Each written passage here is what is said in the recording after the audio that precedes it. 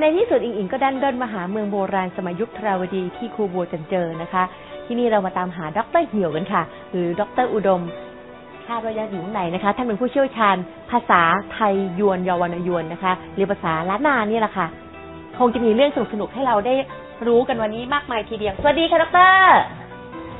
อ้าวไม่ใช่นะคะ แต่เหมือนจังเลยค่ะ คุณดรเหี่ยวนะคะ ไม่รู้อยู่ห้องไหน ภายในพิพิธภัณฑ์จิปาถาแห่งนี้นะคะ มีห้องที่หลากหลาย แล้วก็มีพิพิธภัณฑ์หุ่นที่พึ่งเก็บไว้ให้ได้ชมกันด้วยนะคะ ตามหาดรกันดีกว่าค่ะดรคะ อยู่ไหน สวัสดีค่ะครับสวัสดีครับหนูไม่สวัสดีแน่ใจเลยเพราะว่าข้างหุ่นที่ฮะอาจารย์นี่ปั้นไม่ทั้งหมดรูปอาจารย์มีทั้งหมดกี่รูปคะในพิพิธภัณฑ์อย่างนี้ยนะคะจำไม่ได้มันมากมายเหลือเกิน เกินสิบไหมคะ มันน่าจะ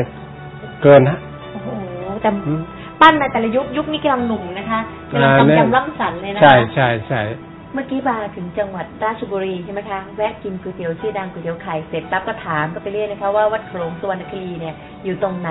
ในที่สุดก็มาหาอาจารย์จนเจอค่ะอืมแต่เข้ามาแล้วก็มาเดิน เห็นรูปอืมปั้นอาจารย์เต็มไปหมดเลยในพิพิธภัณฑ์แห่งนี้อืมพิพิธภัณฑ์แห่งนี้ตั้งมานานยังคะตั้งมาถ้าเป็นตัวตึกหินปูนทรายเกิดขึ้นเป็นตัวอาคารเนี่ยก็2,515ก็นน แต่ว่าถ้าเป็นตัวหนังสือเริ่มโครงการมาตั้งแต่ 2,542โอ้โหนี่กี่ปีแล้วคะเนี่ยจะเป็นอืสิมบปีแล้วนะคะ เก็บเก็บเก็บแล้วค่ะพิพิธภัณฑ์แห่งนี้ตั้งขึ้นมาจากใครเป็นผู้คิดเริ่มต้นคะอาจารย์จะพูดไปเนี่ยนะ ก็เหมือนกับพูดเอาดีใส่ตัวคนเดียว จริง ๆ แล้วมันก็เป็นคือลุงเองเนี่ยเป็นคนคิดริเริ่ม ที่จะตั้งพิพิธภัณฑ์ชุมชนตรงนี้ขึ้นมาเป็นคนแรก จริงๆจะว่าไปลุงเป็นปราชญ์ของชาวบ้านแถวนี้เลยไหมคะไปถึงดรเหี่ยวนะคะแต่มาฝังตัวอยู่ราชบุรีไม่ไปสอนหนังสือที่อื่นแล้วเหรอคะลุงโอ้เกษียณมานานแล้วเกษียณมาได้แปดปีแล้วแต่ภูมิปัญญาของดรเหี่ยวหรือดรอุดมนี้ก็เป็นที่เลยคะกล่าวขวัญถึงในหมู่ชาวบ้านแต่โดยเฉพาะยิ่งที่ศูนย์ศิลปาชีพนะคะทำให้เราต้องมาค้นคว้าหาคนคนนี้นะคะ ซึ่งจัดได้ว่าเป็นเป็นบุคคลซึ่งแบบน่ายกย่องและเชิดชูจริง ๆ สิ่งที่คุณลุงทำไว้ไม่ว่าจะเป็นในเรื่องของ การสืบสารทายาทของชาวไทยยวนเป็นลำดับที่เท่าไหร่แล้วคะที่ห้าลำดับที่ห้านะคะเขาเรียกว่า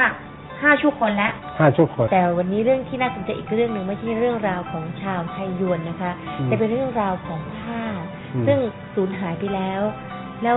ท่านไปเอาภูมิปัญญาความรู้ที่ไหนจากการทอผ้าเป็นผู้ชาย มาดึง วิถีชีวิต หรือว่าอืมวิญญาณเก่าๆของคนที่ทอผ้าเหล่านั้นกลับมาทำเป็นผ้าผืนสวยงาม ให้ทางศูนย์ศิลปาชีพได้ชมกันอีกนะคะแต่แต่ก่อนอื่นแล้วพูดถึงจุดเริ่มต้นว่าจุดเริ่มต้นที่เราจะผู้ชายทอผ้าเป็นเหรอคะไม่เป็นอ้าวแล้วไปทำลายผ้าเขาได้ยังไงอะคะมันคิดได้อะคิดหลายท่าอ๋อคิดหลายผ้าได้คิดคืออย่างนี้นี้คิดจากไหนอ่าวิธีการนะคือลุงเนี่ย เป็นลูกหลานของคนไทยยวน โยนน้องเกียงแสนที่นี่ ก็คิดอยากจะฟื้นฟู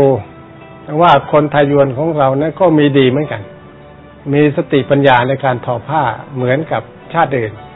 อ่าลายโยนกเราก็มันไม่มีชื่อในในผืนผ้าแต่โบราณ แต่เราก็สามารถสร้างลายขึ้นมาได้ อ่าดูจากไหนถ้าแบบพวกเนี้ยค่ะอ่าของนี่เจดีก็ประหลักหักพังไปแล้ว จะไปดูจากไหนอะคะ แบบนี้ไม่ต้องรู้จากไหนก็ดูจาก ผ้าเก่าๆที่สืบทอดยังเป็นผืนนุ่งกันมาเนี่ยนะมีเหลือให้ดูไหมมีคะเดี๋ยวในร้อยเจ็ดสิบแปดสิบปีข้างหน้าอยู่ชั้นบนเนี่ยค่ะนะเป็นตู้สวยมากแล้วก็ไปดูไปผ้าดูกักันนดีกว่าไหมคะอ่าอะไปอืมนี่แหละคะห้องเก็บผ้าอ่าใช่ใช่ใช่สวยจังเลยค่ะลายนะแบบนี้ เอ่ออันนี้เป็นผ้าคลุมศพอ้าวทำไมเอาผ้าสวยๆมาคลุมล่ะคะ ต้องการจกให้สวยๆเพื่อใช้คลุมศพ แล้วเขาก็ไม่ทำเป็นลายสิ้นใช่ไหมคะแบบนี้ เออลายเนี่ยใช้ทำผ้าสิ้นก็ได้ แต่ลักษณะของการทอออกแบบเนี่ยเราออกแบบไว้เพื่อคลุมศพ ยาวสองเมตร กว้างก็เมตรกว่าเล็กน้อย แล้วใครทอให้ล่ะคะเอ่อผ้าผืนนี้เนี่ยเราให้คนทออยู่สี่คนเนี่ย เรามีชื่ออยู่หมดเรียบร้อย แล้วใครเป็นเจ้าของทอเมื่อไหร่เนี่ยทอทั้งหมดสามร้อยห้าสิบเจ็ดวัน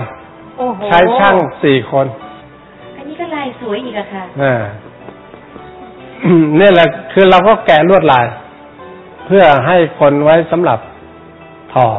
จริงๆเห็นแบบนี้นะคะ เริ่มที่จะหลงไหลมนต์เสน่ห์ของผ้าสิ้นลายเก่าๆแบบนี้แล้วนะคะ อืมมันมีมนต์เสน่ห์แค่ได้มองไม่ได้ใส่แค่เห็นก็รู้สึกเป็นความสุขอย่างหนึ่งเรื่องราวของการอนุรักษ์ลวดลายของผ้าไทยโบราณยังไม่จบลงเพียงแค่นี้นะคะ